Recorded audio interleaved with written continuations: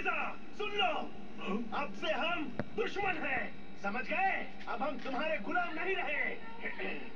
हम आज़ाद हैं। तो अपने घिनौने काम करवाने के लिए किसी और को ढूंढ। एक और मिलिट्री ऑपरेशन में सेम बेबी कैकरॉट पृथ्वी की ओर आता है। इस बात से अनजान कि उसका ग्रह खतरे में है। उसके पिता बाडॉक खतरनाक फ्रीजा और उसकी पूरी फौज का सामना करते हैं अकेले। ये उन लोगों के लिए है जिन्हें हमने